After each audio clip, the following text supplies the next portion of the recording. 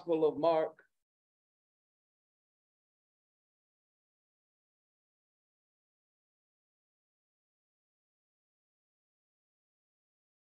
Turn with me to the Gospel of Mark, the eighth chapter.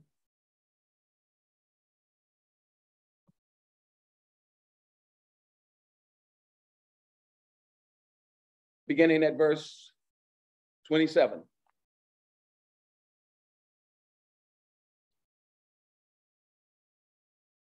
The Lord took me to somewhere that was familiar. And by the power of God, He gave me some things. And I was just writing these notes and I didn't know where they went. And He says, No, I'm going to surround what I told you with something familiar. And it reads Now Jesus and his disciples went out to the towns of Caesarea Philippi. And on the road, he asked his disciples, saying to them, Who do men say that I am? So they answered, John the Baptist, but some say Elijah, and others say the prophets. He said to them, But who do you say that I am? And Peter answered and said to him, You are the Christ. Then he strictly warned them that he should not tell no one about him. And he began to teach them that the Son of Man must suffer many things and be rejected by the elders and the chief priests and scribes and be killed and after third uh, after 3 days rise again. He spoke this word openly. Then Peter took him aside and began to rebuke him. But when he had turned around and looked at his disciples, he rebuked Peter, saying, Get behind me, Satan, for you are not mindful of the things of God, but the things of men. This morning's title is The Cost of Our Christian Confession. Lord, I thank you for your word, for your word is blessed. Your word is true. And I thank you for the honor and privilege to teach your word this morning in Jesus' name. Amen. Thank you. You may be seated. There is a cost to our Christian confession because a lot of people don't even understand that there is a Christian confession that we should live by. Confessions in courtrooms regard you telling something that you've seen, something that you heard, or something that you know. Sometimes confessions in courtrooms lead you to spilling your guts, but our Christian confession is our covenant acknowledgement. Our Christian confession is our consent agreement with the Lord Jesus. I said a consensual agreement with the Lord Jesus that comes from our mouth. We are of the house of Christ. Those who are Christians belong to the household of Christ. So there has to be some responsibilities to be from the household of Christ. Salvation is free. It is the free pardon of our sins. Grace is unmerited favor. We didn't ask for it. We didn't deserve it. And on many instances, we didn't even pray about it. God is love, and his love is unconditional. But God says, from my people, there's a cost that they must pay, and that cost is in their confession. Their cost is in their covenant agreement with me. That cost is in that consensual agreement that they make with me personally. That's why he is my personal Lord and Savior. I can read these gospels and I can talk to you about him, but but he's there with me in my personal times when when I'm in pain, when my heart is broken, when I'm afraid, when I there's something going on that my life is in turmoil. He is there with me personally. I consent for him to get in the middle of my mess. I consent for him to come into the middle of my brokenness. I consent for him. I expose my sin. I expose my mess. I expose all that I have to him because I give him my consent. to do whatever his will says needs to be done. And this is my agreement with him. People walking around and say, well, somebody told me all I had to do was say a few words. No, there's something that has to come from your heart. You know, when I teach on finding freedom and experiencing the best things of God and experiencing God's grace and God's giving and all that God has attached to our lives, I speak from revelation and I speak from personal experiences. But I'm telling you, preachers who are in here and preachers everywhere and the Christians everywhere, we have to be very careful that we don't mess around and turn the word of God into something that's one dimensional. If we're not careful, what we teach and what we say to people will be all about getting something. I said it'll be all about getting something. And we're so desperate today that we're not trusting God that the power of Jesus that saved me from my sin will save them from their sin. That what God did in his own way to find me and draw me back will draw them back. But we're constantly, it's almost like some type of spiritual clickbait prosperity, healing, joy, peace, love. All of those are wonderful things, but but there is a responsibility, there is a cost of being a Christian. Like I said, we are the household of Christ. When we were raised in a house growing up, there were responsibilities about being attached to that house. I don't know how they do it today. But it wasn't just the house that I lived in, it was my whole family. You re- represent all of us. I remember thinking that I was grown one time, being down at the old Clark's. Some of y'all don't even know what that is. But I was down there, I think I was about 14 or 15, and I thought I was cool and sneaking and had a cigarette hung out the side of my mouth with my boys. We walking through Clark's because one of my friends was old enough to get driver license. So we didn't have to ride our bicycles. Dangerous stages for young boys when they come off the bicycles and somebody start driving. But I had that cigarette, and all of a sudden, flame and ashes started coming up in my face and in my eyes. And there was an aunt that I hadn't seen in months and months. She didn't say, hey, Keith. she just slapped cigarette, slapped me all at the same time. This aunt on my father's side of the family said, how do you think your mama would feel about you? She didn't even say, what do you think your father would feel? We came from something where somebody said, you got to represent. And if we're not careful out here today, we want to draw people into church. We want to draw people to God, but we're making it all about getting. And we're putting out there little spoiled sweet milk babies. Sweet milk Christians can't pull somebody back from the gates of hell. Sweet, sweet milk babies don't enter into spiritual combat with demons. Listen, sweet milk babies can't even tell themselves to say no to the things of the world because they think that I can get the things of God and still act like I want to in the world. I can come off IG, TikTok, and all of these other things, go club and do whatever and ever, and God is still going to give me whatever I ask for because the people in the church said all I got to do is ask and God will give it to me. There's a cost, and we're not teaching the cost. See, sometimes when I preach like this, people say, Man, I'm gonna tell you what, that I, I, I listened to you. That, was a hard word. It's not hard. This is the word that will empower you.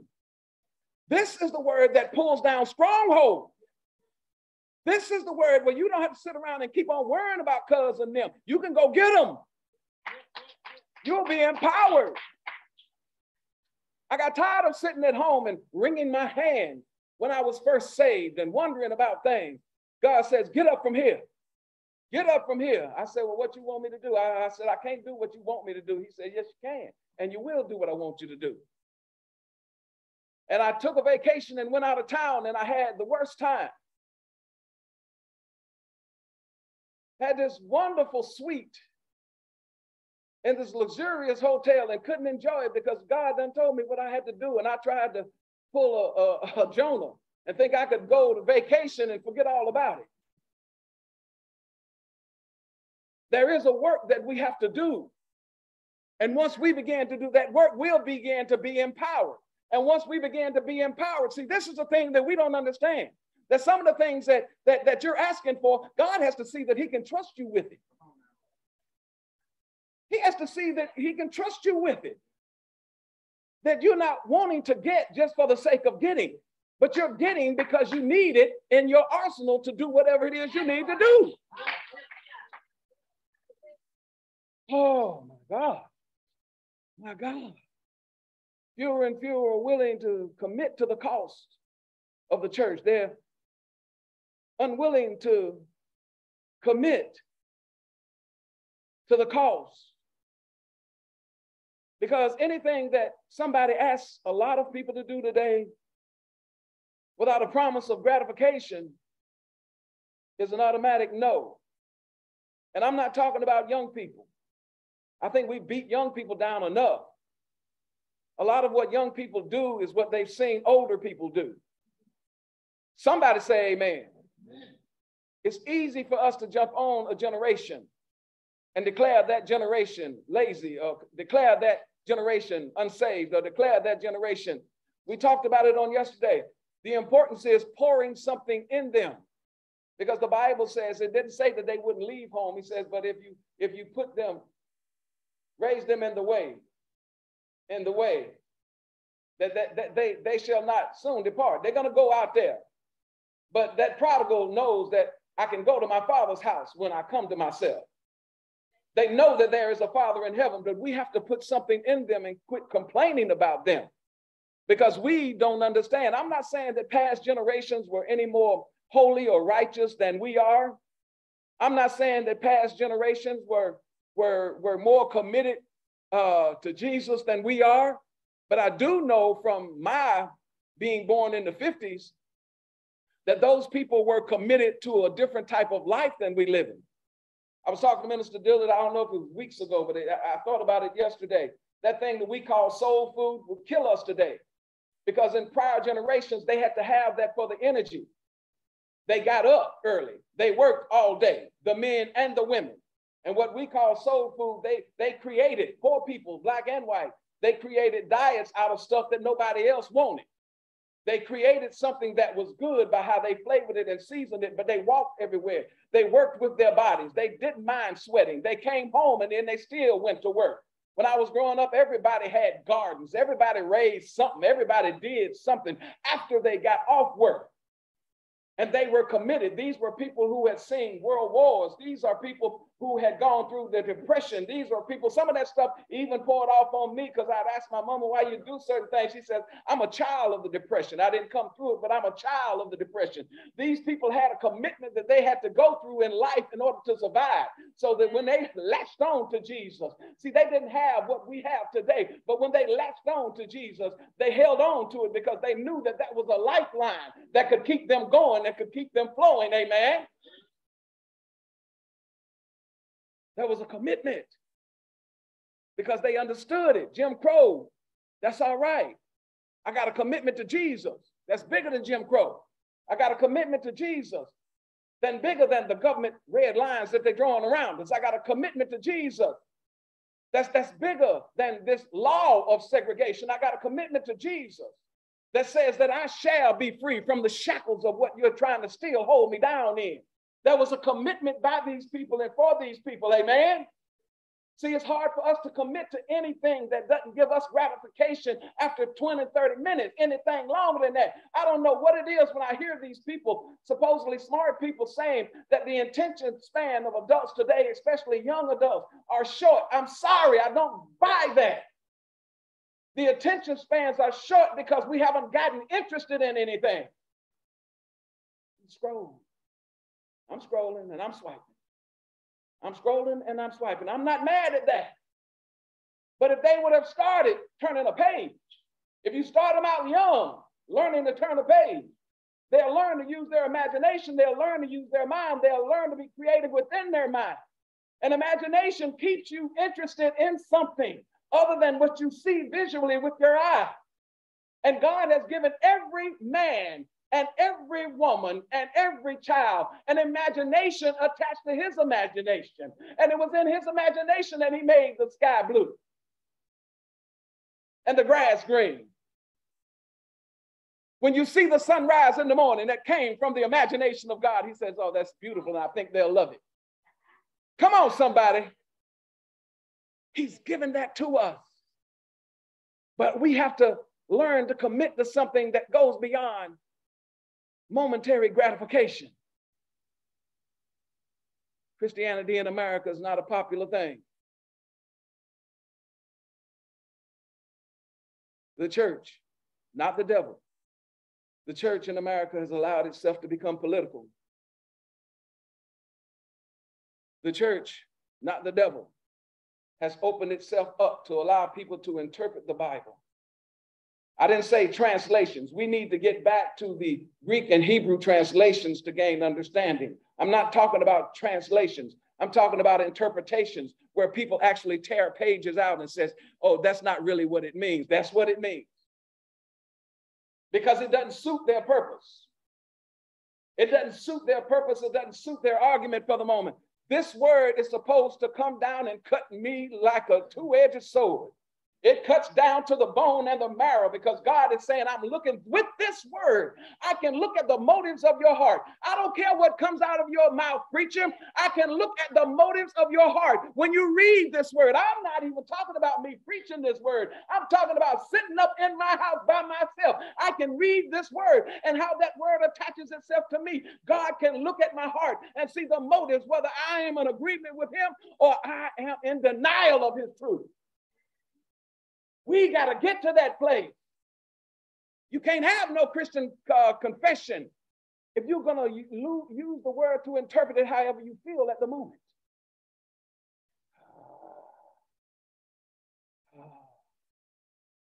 But today I want us to understand that no matter what this world is doing, each of us individually, somebody say, each of us, each of us can be light. Say, be light. Be light. With a loud voice, say, be light. Be, light. be an ambassador. Live love. Live truth. Live radical for Christ Jesus. That's how we make a change. That's how we make a change. Not to debate somebody's interpretation. I can live this truth, I can live this love, and I don't have to bring my Bible with me so you can see the love of Jesus.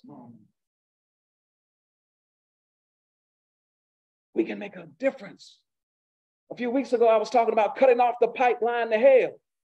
Well, if Christians don't get it together and get their confession together and become willing to pay a cost of some kind, whether that cost is praising I said sacrificial praising. I don't feel like praising, but I'm to praise him because he's worthy. I'm to praise him even if my back hurt. I'm to praise him if I'm sad. I'm to praise him if I ain't got no money. I'm not waiting on the blessing to praise him. I bring the sacrifice of praise into the house of the Lord. I haven't felt like praising him all week long, but when I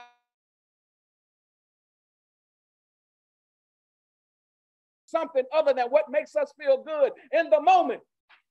There is a cost. Tell your neighbor there's a cost. It's not always about feeling good. It's not always about feeling good.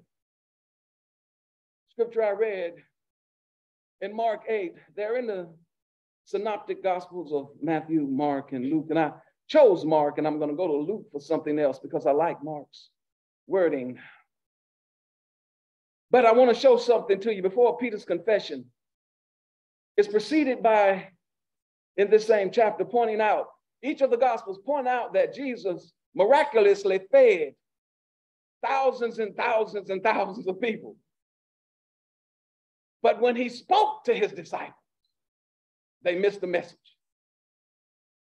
They miss the message. Jesus gives us the same thing that he gave the disciples subtle messages, warnings that we don't heed.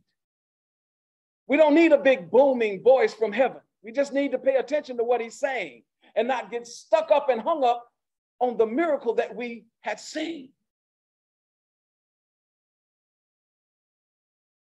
See, Jesus is exposing them to something. He's saying, what y'all don't understand is there's a subtle move that'll become a devilish place in your heart if you're not careful.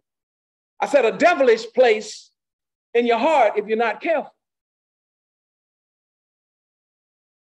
In Mark 14, his disciples had forgotten, 8 and 14, they had forgotten to take bread. And they didn't have but one loaf. And he says, listen, Jesus says, take heed, beware of the leaven of the Pharisee and the leaven of Herod. Beware. Beware.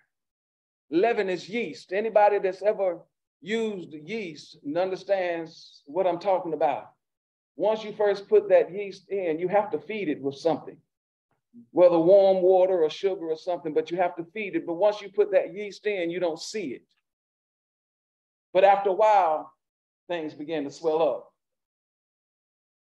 After a while, things begin to expand. Jesus is saying, listen, listen, you got to pay attention. See, y'all missed it. He says, y'all are back here thinking about what took place with the bread. Y'all saw me sit here and have a back and forth with the Pharisees. Y'all saw us go back and forth. Y'all saw this disagreement between us.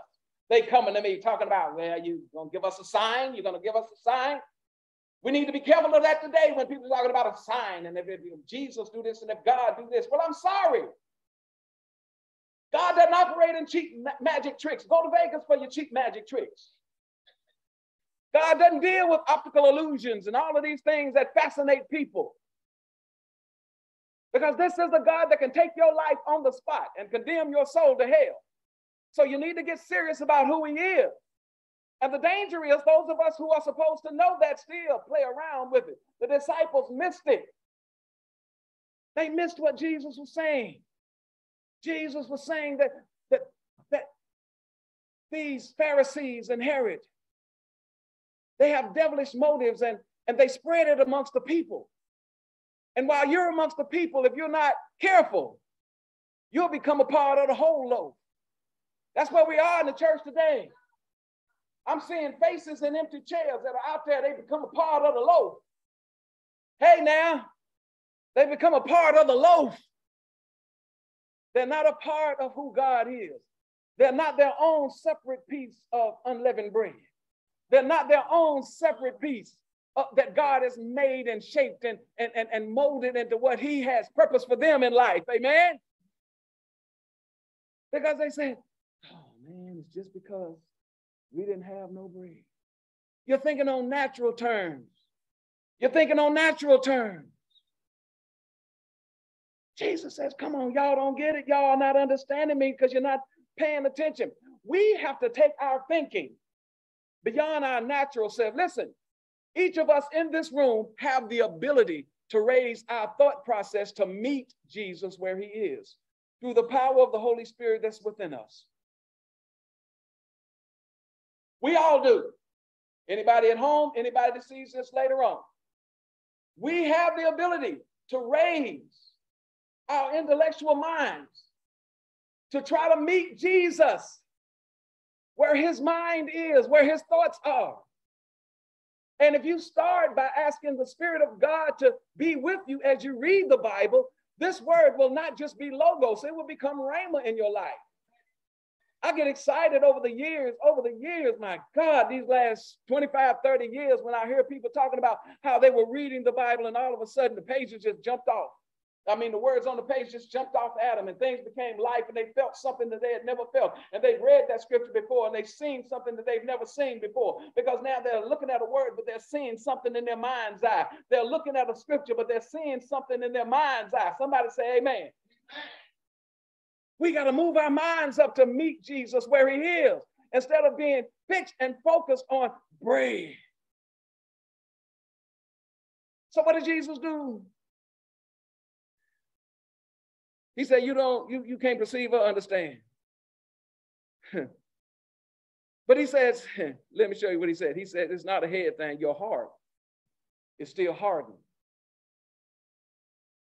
This is something that we don't want to admit to ourselves. The softer my heart gets, the more I can understand the Lord. The more I'm determined to understand it my way, there's always going to be that little gate or whatever you want to call it. As long as I, my heart is hardening and I'm not willing to submit my thoughts to Him, that's hardening your heart against Him. And we think it's just uh, us having our own personal choices. Let me clear that up one more time. You were bought with a price. Christ died for you while you were yet a sinner. God demonstrates his love for every sinner because he didn't wait for them to come to Jesus. Jesus died for us beforehand. So now that I am bought with a price, and the Bible says that I am not my own, I don't have this will now where I can step up and say, well, I got a choice and I'm a free will preacher. I am not free of anything except for the hold that Satan had on me. It is his will be done on earth as it is in heaven. It is his will. If my Lord and Savior Jesus Christ could say out of his mouth that your will be done and not my own, who am I to declare that my will on some level is important when it comes against the will of God? Jesus said it's not an understanding thing. We harden our hearts because we are so a part of the loaf.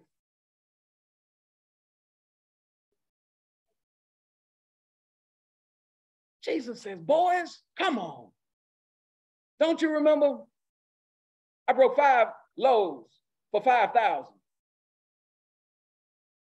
How many baskets? 12. He said, I broke seven for the 4,000. How many baskets? Full of fragments did you take up? Seven. What is it that you don't understand? What is it that we don't understand? Jesus is warning us to be careful how we expand to what we feel that we need to accept in order to expand because it don't take nothing but a little doubt. It don't take nothing but, but a pinch of a rumor. Come on, you can take a little pinch of lie and a little pinch of rumor, and you can tear a church all to pieces. You will have faith walking believers doubting with a little pinch of lie because there was nobody that was willing to put out the fire when the fire got started. Come on, somebody. Jesus says now, for the expansion that has to take place, you have to look at who the fight is really with. Y'all trying to fight with me about bread. I'm telling you that there is an enemy.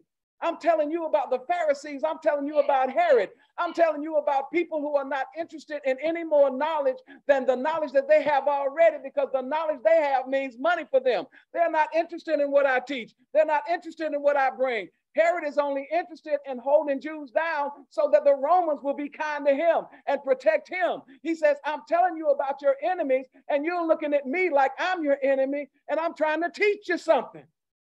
We look at God like he's our enemy.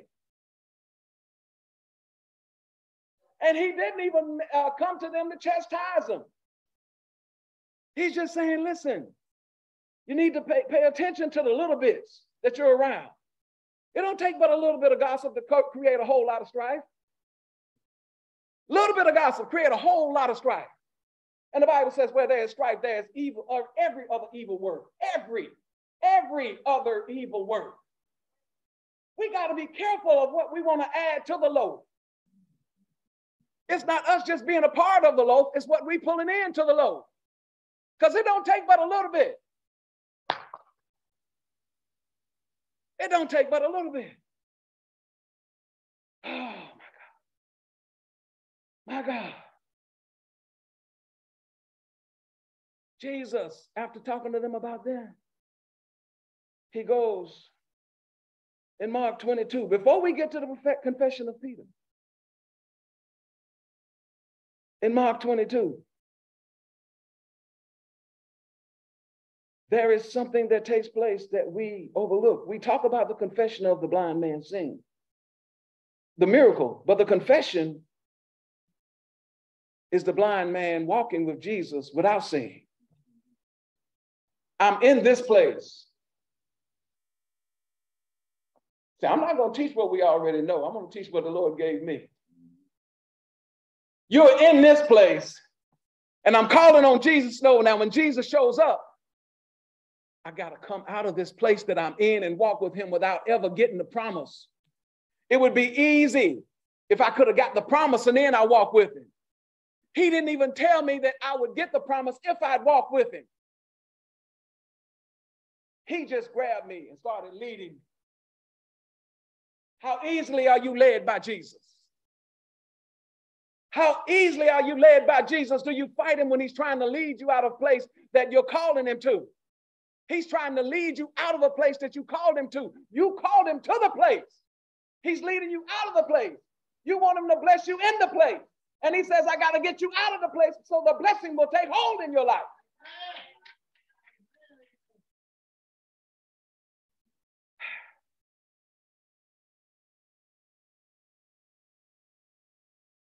See, Jesus. Says Bethsaida is a mess. And he says, I went to a mess to get a man that couldn't offer me anything. To let you know that I'll come to wherever you are. Not about what you can offer me, but you got to be willing to walk with me when I say walk. You got to be willing to walk with me when I say walk. God is honorable. God is not going to drag you. God is not going to drag you. He'll let your hand go. And you'll say, The God didn't bless me and I prayed for it. No, He wanted you to walk out of that place. He wasn't going to bless you in that place. In Luke, let me tell you about Bethsaida. In Luke 10,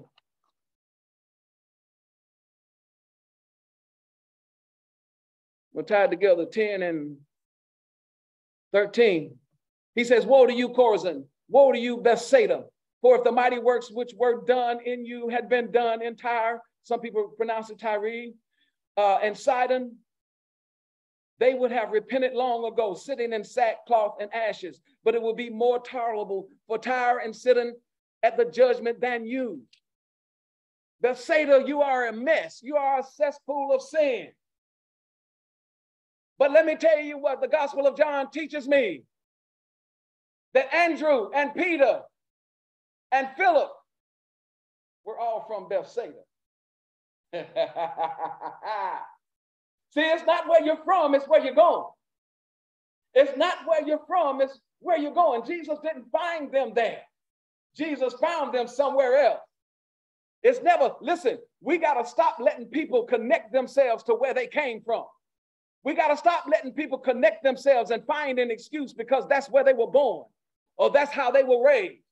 We got to stop letting people connect themselves to something that keeps them in a place that is not going to bring them into the presence of God or bring them into the things that God has for them. Because we want to say that just because that's how my family was, that's how I am. The devil is a lie.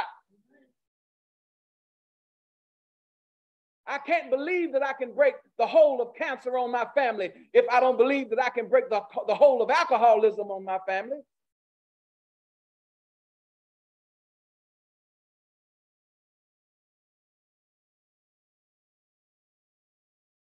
It's not about any of that. Jesus wanted his disciples to understand that he came from a place where somebody, they said that couldn't nothing come good from. Read the Bible.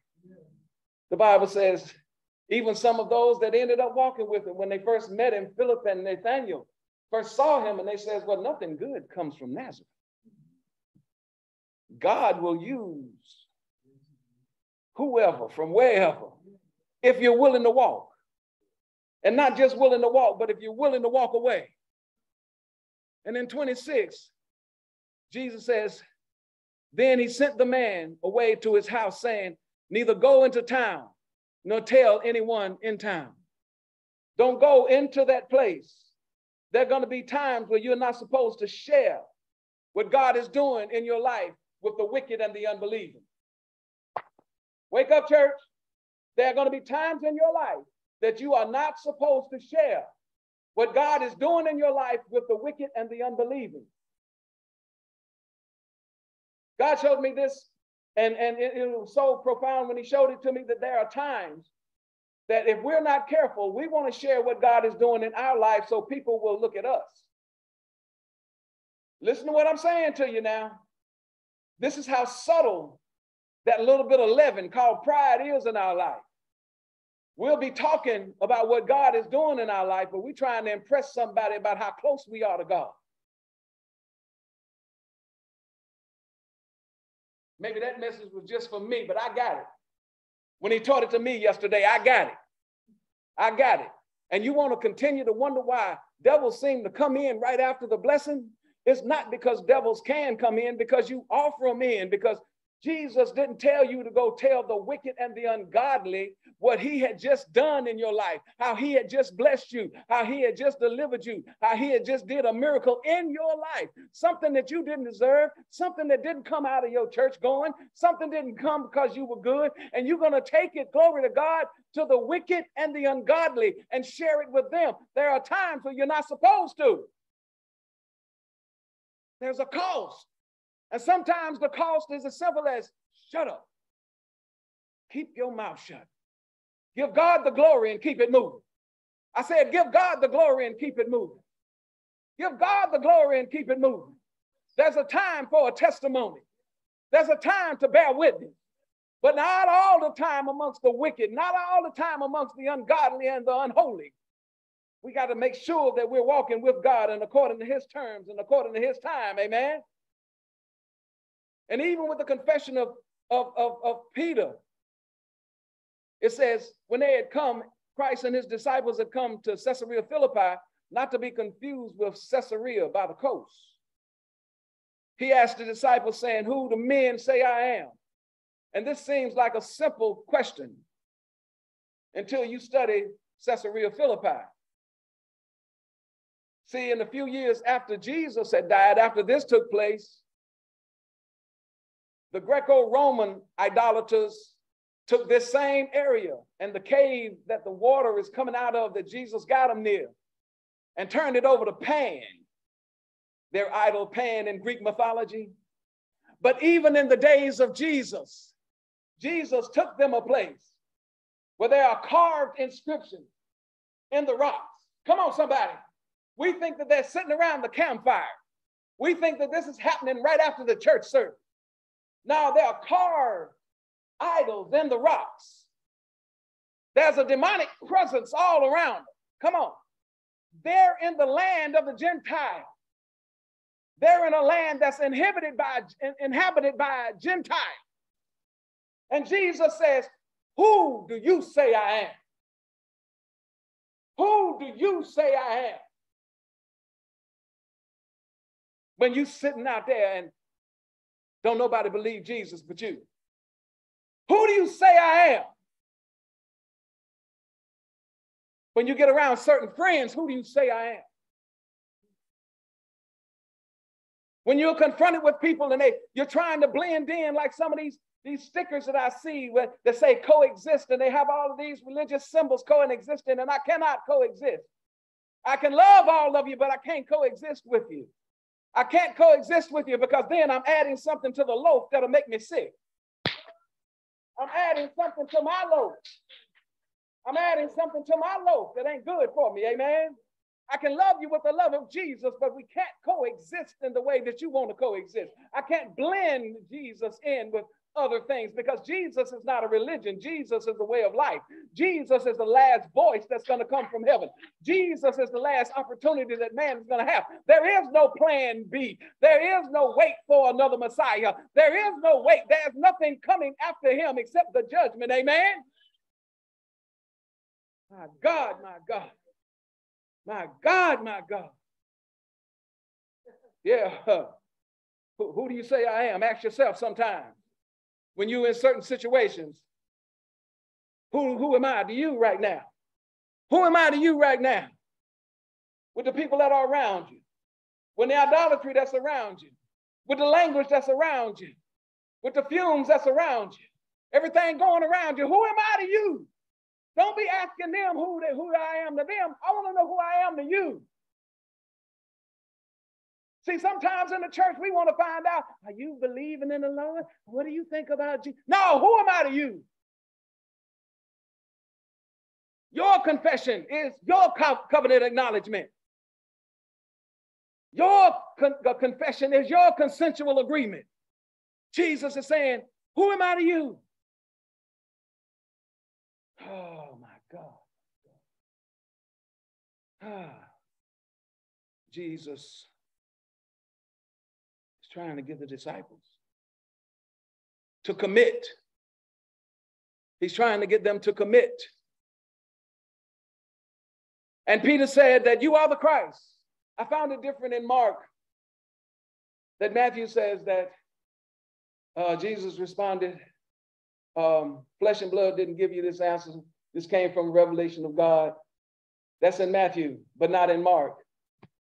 And knowing from history and theology that Peter fed Mark. Mark got his information from Peter. It's just like walking on water. It's not recorded in Mark because Peter didn't want it in Mark. Peter, when he was giving the details of the gospel to Mark, he never raised himself up beyond anything other than a servant. He points out his mistakes. Come on, listen to what I'm saying because we give Peter a hard time. Peter points out his mistakes. Mark would given him a platform to really boast of himself, but Peter plays himself down as less than most all the other disciples. This is something that we need to learn.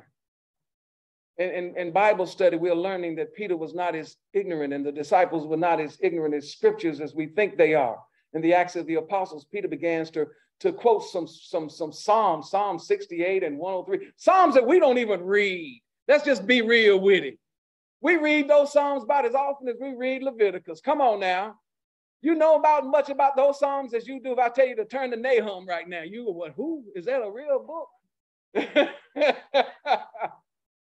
but Peter had knowledge that we didn't give him credit for. The disciples had knowledge that we didn't give him credit for. But Jesus was trying to get them to a place. But then, listen, just like he told the man, don't tell anyone, he strictly warned them that they should tell no one about him. Wow. Back to back. I thought you were trying to grow this ministry. You had 5,000, and that's just counting men, not counting the women and children. You go to Samaria, and you have a woman to take the word into the Decapolis, which is 10 cities. I thought we spreading this thing, Lord. God wants us to understand that there is still a responsibility to, to the spreading because there are times when sharing the revelation that God has given us and the true knowledge of God needs to be withheld because we need to understand that it's not agreeable with everybody that we're trying to share it with. See, everybody is not desiring the same Jesus that you're desiring. There are still some milk babies that don't want to eat that solid meat. Ain't nobody trying to chew on no meat of the word. I came to church because they told me that I could get a car. They told me I could find a wife or a husband. They told me God would bless me. I'd get a better job. I'm believing in some money. I'm believing that I'll be healed. I still eat nothing. I eat wrong. I don't exercise. I don't care about nothing. Smoke three packs of cigarettes a day, but I'm believing on healing. As I eat a whole cheesecake.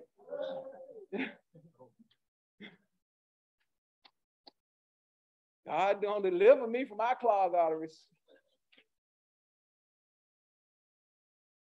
Yeah, everybody doesn't want to hear what you got to say. Jesus says, Don't tell them who I am. They're going to have to find out another way. They're going to have to find out another way. Israel didn't want to be delivered from sin and Satan, they wanted to be delivered from Rome. Woo! There's some people out here that they want to be delivered from sin and Satan. They want to be delivered from poverty. They want to be delivered from loneliness. They want to be delivered from whatever it is in their life right now, whatever it is that's oppressing them. They are not intent on being delivered from sin and Satan. Let the church say, This is tough.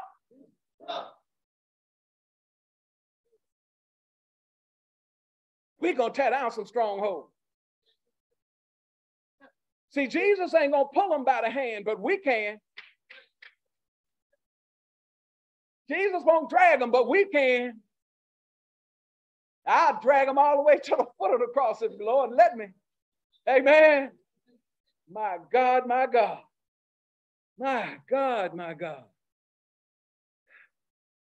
But this is what the Lord was trying to get and to pour into them. But he began, began to tell them the things that he had to suffer and the things he was pouring out revelation now. He's telling them, don't tell them about me. But now he begins to pour out revelation to those that are closest to him. He's pouring out the revelation of those that are to those that are closest to him. And it says that Peter took him aside and began to rebuke him. And when he had turned around and looked at his disciples, he rebuked Peter, saying, Get behind me, Satan. Get behind me, Satan. See, sometimes we think that, that this means that there was a, a demonic oppression in Peter. No, it was not. Peter was speaking out of his fear. Peter was speaking out of his flesh. Peter was speaking out of what he thought it should look like. Listen to what I'm saying. I just told us we got to bring our thoughts up to try to meet the thoughts of Jesus. We got to bring our thoughts up. We can't just be so reactive to what we read that it goes to who we are normally. Come on now. We can't go back into where we are normally and who we are normally and react like that. We have to come up and try to meet Jesus where he is. Come on, somebody. Peter was not under any type of demonic oppression. Peter what, what was not uh, uh, didn't need to have an exorcist, a demon exercised out of him. Peter was speaking through his fear. Peter was speaking through his flesh. Peter was saying that what humanly felt right, but he didn't understand the cause of God. We, God wants us to get to a place that even in our normal life, we are, we are still compelled to seek the Spirit even in our normal life before we react. Oh my God, my God.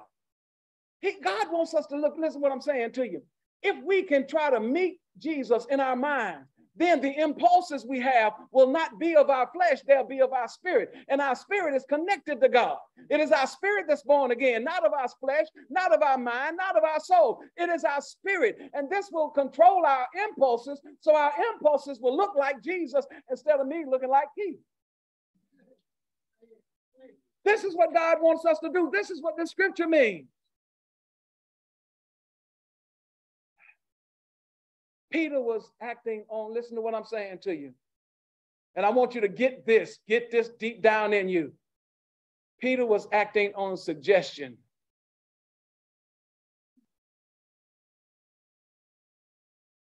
Something was suggested into his mind. He says, No, this can't happen. The devil makes suggestions to you all day long that sound good. The devil makes suggestions to you all day long that sound right. But if we don't understand the plan of God and not seeking the plan of God, and if we think we're going to find out the plan of God and be gratified in five minutes or five seconds, or read eight scriptures or read a chapter a day, and all of a sudden now I understand what God wants from me, how about just reading a few verses and praying over? Lord, reveal this word to me. Reveal it to me, God. Reveal it to me. Show me, Lord God, not just for myself, but how I can help somebody else, how I can bless somebody else, how I can enlighten somebody else by the power of your word. My God, my God. I want to turn it over to Luke now because it's the same in the Synoptic Gospels. I, I like the way Luke worded what would be 34 in Mark is Luke 9 and 23. Then Jesus said to them all, If anyone desires to come after me, let him deny himself and take up his cross daily and follow me. That's one of the things that I got from Luke. Luke says daily. Luke says daily. Luke said that you can't do it one time. I got to take up my cross daily. Daily, I have to walk fully exposed to whatever suffering I, I might have to face to hold on to my confession of Jesus. Daily, I have to open, be open to the ridicule that I might have to face and pay that cost for my confession and my agreement with Jesus being my Lord and Savior. I got to pick up this cross daily and face embarrassment if need be. Be stripped down, lose friends, have people run away from me that I thought would never leave my side. I got to be able to stand in that for the confession of Christ Jesus. I got to be willing to pay that cost and pick up that cross daily. Daily. It might not happen on Sunday and Monday and Tuesday. And sometimes it happens at a most opportune time because I'm around people that I thought I could trust and people that would be on my side about things. But all of a sudden, something breaks out. And there's a spirit unlike the spirit that's dwelling inside of me. And I have to stand there and take it. I have to stand there and keep my mouth shut. I can't react. I can't go with my impulse because the mind of Christ is saying, stand there and pray for them as they talk about you, as they call you stupid, as they calling your names, as they telling you how dumb you are. Go head on. Now they talking about all of this stuff. Go head on and ask God to forgive them and show them the light. Amen.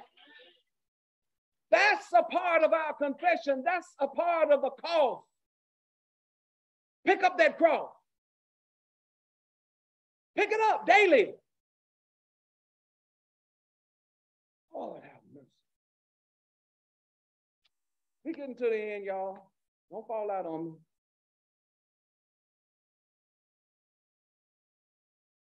He said, Listen, whoever desires to save his life will lose it. And whoever loses his life for my sake will save it. He's not talking about you dying in the natural. That's the difference in dieting and fasting. Fasting is not a diet. Fasting is denying my flesh. Hey, You lose five pounds, talking about you've been fasting. No, you gain it right back. You ain't done no good. God is trying to get us to understand this.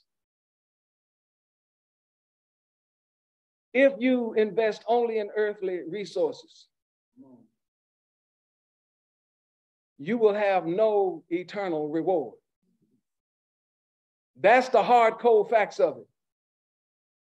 That's the hard code. Another reason that I, I, I chose Luke to close it, he says, What is the profit of man if he gaineth the whole world and is himself destroyed or lost? I know uh, Mark and Matthew say it different. Uh, uh if he uh, lose his own soul, what would a man exchange for a soul? I understand that. I understand that. This is why you look at all the synoptic gospels. Don't be lazy.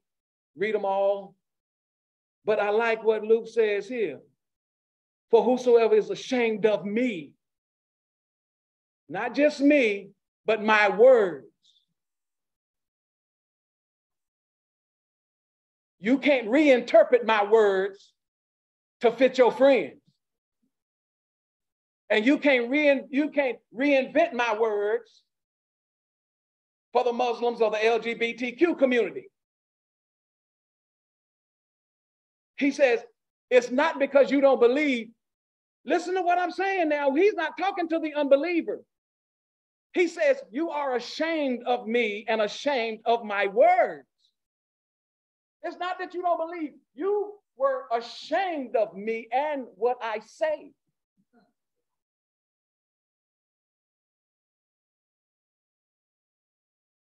He says, Okay.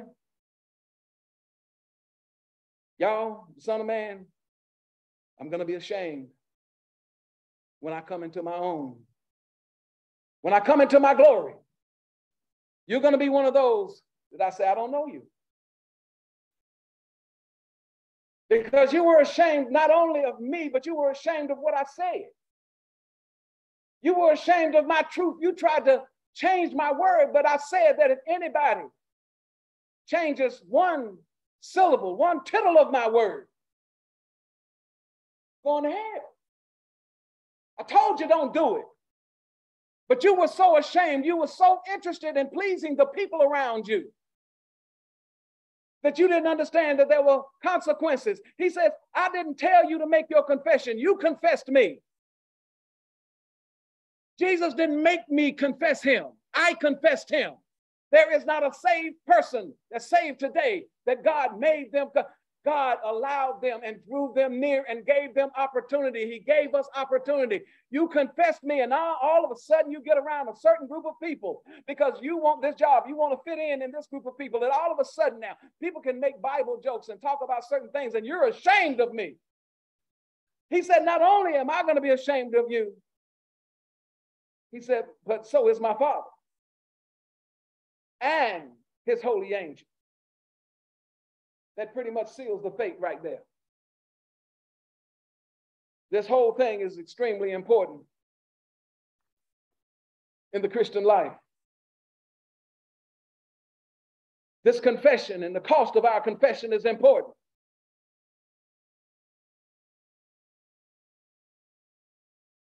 I don't know how long you've been saved, but being saved hadn't cost you some friendships. Don't worry, it's coming. If it hadn't cost you what used to be opportunities, it's coming. Let me go deep on somebody. If your relationship in Christ Jesus over the years, I'm not talking about in the last two, three years, but at some point in time, didn't make you feel bad about denying your flesh. Because your flesh was wrestling with your spirit, and you were so used to those years without Christ, giving in to your flesh, that you have to have a fight within yourself. You had to pay that cost within yourself. Whether it was a lie, whether it was gossip, whether it was money, whether it was sex, whether it was a drink, whatever it was, an evil thought, doing somebody wrong, cheating somebody, whatever it was, you had to suck it up and couldn't let it come out. That's the cause. That's the cause. It's eternal. Paul said it's a faith fight. It's a faith fight. But God will lay hold on us, and we can lay hold on eternal life. But you got to pay the cost, Paul said, and confess a good confession. Paul said you got to confess a good confession. Because my Lord Jesus on this communion Sunday was beaten and blooded, the word of God says. He was beaten and he was stripped bare. He was mistreated and mishandled and misused, snatched the hair out of his beard, crown of thorns on his head, knowing that he was going to die by crucifixion, humiliated in every way possible, glory to God. But the Bible says that he had a good confession before Pontius Pilate. Knowing what he was facing, he still had a good confession. He had, he had to acknowledge his covenant with the Father. He had acknowledged his covenant with the Father. You understand what I'm saying to you? That what I'm facing right now is not going to even begin to compare with the glory that I'm getting ready to receive. What I'm dealing with right now is only going to be temporary, but what God is getting ready to drop on me is going to start now and it's going to continue forever and ever. Amen. Amen. This is a consensual agreement that I said I wanted to be a part of, and God let me in. So ain't no sense in tucking tail when things get hard.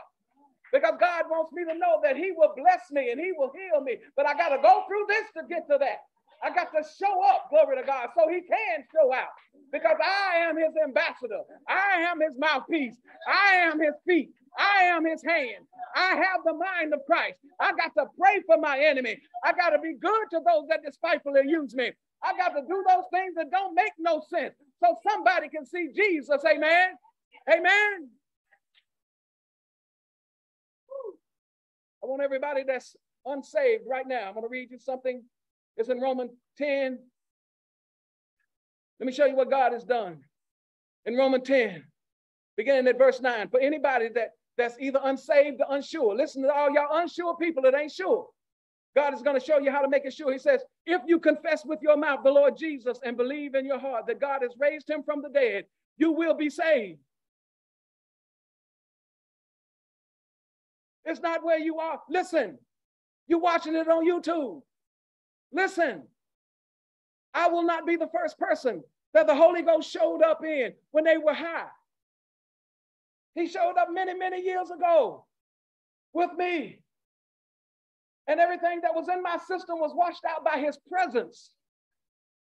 By his presence. He says, Listen, oh, I, am not making you jump through hoops. He said, Confess me with your mouth, the Lord Jesus, and believe in your heart that God has raised him from the dead, and you will be saved. You will have eternal life. For with the heart one believes unto righteousness. If you can get your heart from fighting against God, from trying to be a part of something that has rejected you over and over. This world don't really like you. They just want what you got. They want the gifts that they see inside of you. He says, if you can believe in your heart, let me tell you something. People think that righteousness is something that, that you have to work for. He says, uh-uh. You believe in your heart, right now, you are in right standing with God. Whoever you are, whoever you are, wherever you are, if you can open up your heart and quit pushing back against God and believe in your heart right now. Come on, whoever you are. God says, I'll place you, that right there places you in right standing with me. It's not about time sir. It's about your heart. It's about your heart. Your confession is made unto your salvation. See, somebody told you you got to get rid of that and you got to get rid of him and you got to get rid of her and you got to stop this. No, no, the word of God says confession is made until your salvation. The free pardon of your sins for all eternity can come out of your mouth if your heart is connected to it. It will reach God's heart in heaven. Because Jesus has already applied the blood to the mercy seat for you. It's waiting for you. If you ain't unsure, don't keep on walking around talking about, I don't know, because you don't know if you got another breath in your body.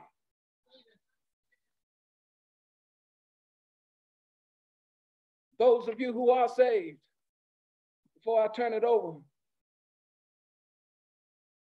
for communion, I want to remind you what Hebrew tells us. You got to remember that you got a great high priest.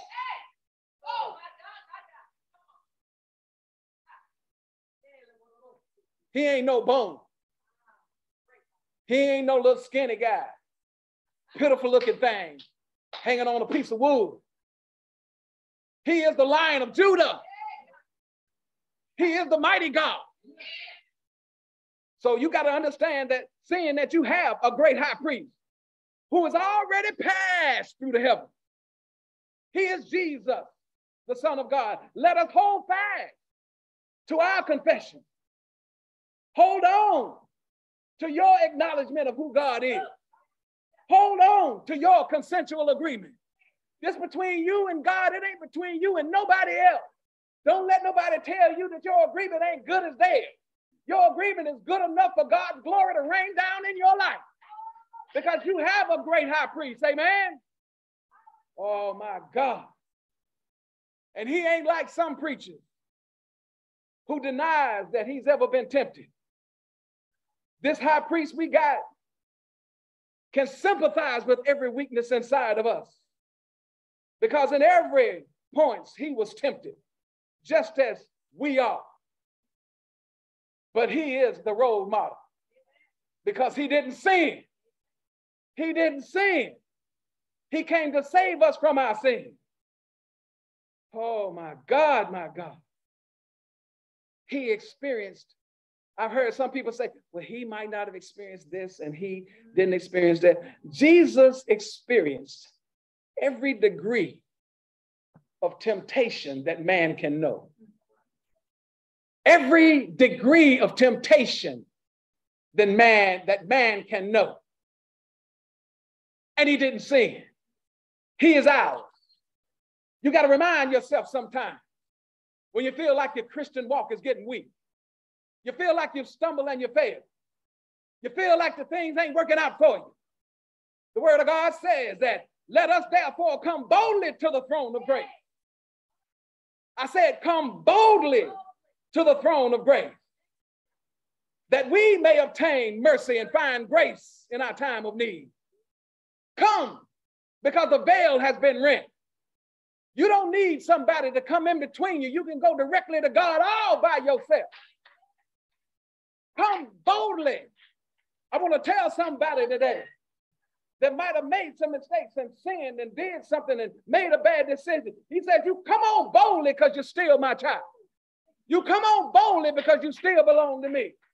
You come on boldly just like you came in the house after curfew. You know it was still your house.